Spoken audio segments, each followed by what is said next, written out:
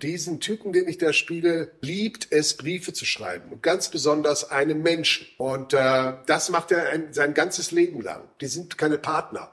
Und hier und da haben sie auch mal eine etwas intensivere Beziehung. Aber letztendlich sind sie frei voneinander. Keiner kann einen Anspruch stellen.